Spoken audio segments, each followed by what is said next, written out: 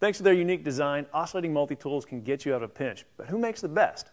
Our team at ProToolReviews.com brought in the top models for a head-to-head evaluation, and it raised some eyebrows thanks to the latest technology developments. Thanks for clicking on our video. We hope you enjoy it. While you're here, consider helping us out by hitting the subscribe button and give us a thumbs up if you like what you see. When you finish watching this one, check out our head-to-head testing results from our best cordless reciprocating saw video. Corded multi-tools are certainly relevant, but when we went over our qualifications to earn the title of best, having cordless convenience was a must. However, some of these tools are available as corded options without any loss of performance, and they'll save you some money.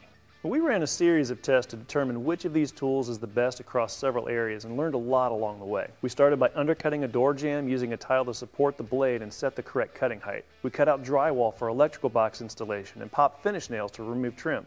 Switching to a diamond grit blade, we removed lines of grout and then installed a sanding pad to see what kind of sanding speed each model offers. As we cut and sanded, we were also feeling out how much vibration each tool delivered to our hands and considering how the tool's length, weight, and handle design played into the experience of using it. During our testing, we used several different types of Milwaukee oscillating multi-tool blades and they performed great. They have a wide selection that covers just about everything you need, including some really nice specialty blades for drywall and grout. If you're on the Starlock platform, we recommend using Imperial blades. With all that in mind, let's jump right into our recommendations. Milwaukee's M12 fuel oscillating tool earns a big win for the ergonomics of its design. For starters, its 12 volt foundation is lighter than the 18 volt models. It's also short enough to reach tighter spaces better, and its slim handle lets it easily maneuver into awkward positions. The M18 fuel version shares the same handle design, so it really just adds some more weight and length if you want to use those batteries instead, and benefit from the increased runtime and higher performance. Craftsman's V20 is another tool that has a nice slim handle and a lighter weight.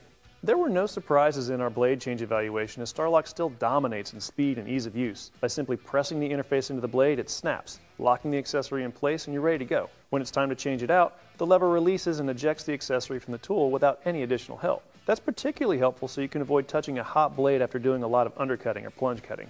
Bosch and Fein both have Starlock interfaces on the multi-tools we tested. Even though Starlock has a significant advantage, Craftsman and DeWalt have a clamping style interface that's also very easy to use, though it does limit them to exclusively using slotted accessories.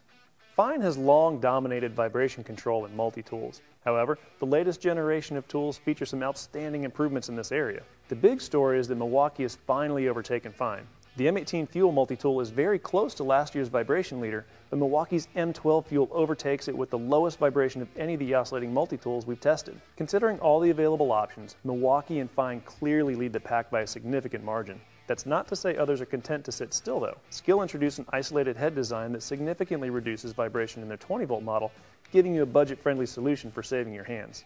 If cutting speed is your highest priority, there's Fein and Milwaukee, and then there's everyone else. On any given application, Fein Supercut Cordless and Milwaukee's M18 Fuel are way ahead of the competition. Their control is also much better, making your cutting even faster because they help you reduce mistakes during the cut. In the end, the two are so close to each other in speed that it's nearly impossible to concretely say one is faster than the other.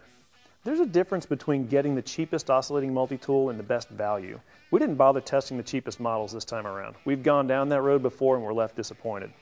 The least expensive of the ones we did test and are comfortable recommending is Craftsman's V20. It runs just $119 as a kit and $79 as a bare tool.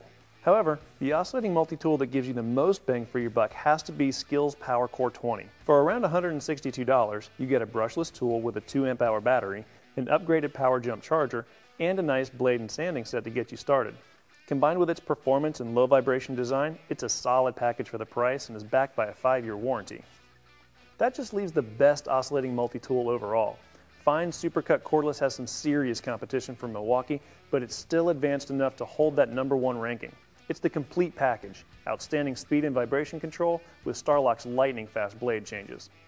The downside is that it's bulkier than most of the other models we tested, and it has a pretty steep price tag. If those are potential pain points for you, Milwaukee's M18 Fuel is a very attractive alternative. After a ton of extensive testing, those are our picks for the best oscillating multi-tools. If you have any questions or feedback for us, feel free to leave those in the comments below, along with a shout out to your favorite multi-tool. And as always, thanks for watching. Help us out by subscribing to our channel below. If you enjoyed what you saw, hit that like button and turn on notifications to stay up to date on our latest videos.